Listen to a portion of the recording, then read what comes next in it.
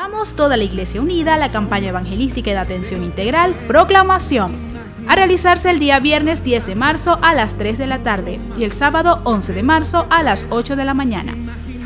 Llevaremos la palabra de Dios, además de realizar actividades de acción social en el sector La Ciega, detrás del conservatorio ubicado en la Avenida El Milagro. No te lo pierdas y corre la voz para que juntos proclamemos el nombre del Señor y otros vean qué glorioso es nuestro Dios.